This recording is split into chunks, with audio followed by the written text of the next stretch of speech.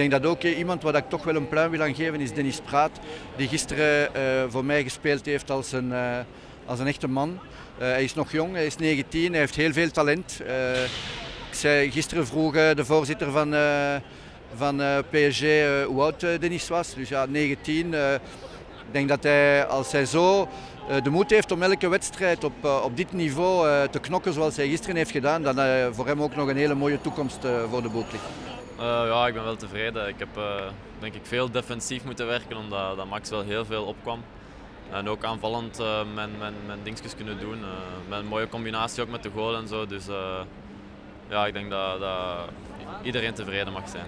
Het was een, was een heel, goeie, een heel goede sfeer in het stadion. Een mooi stadion, een topploeg om, om tegen te spelen. Dus ja, Champions League spelen is natuurlijk de hoogste competitie dat er is in voetbal. En ja, dat is natuurlijk heel plezant.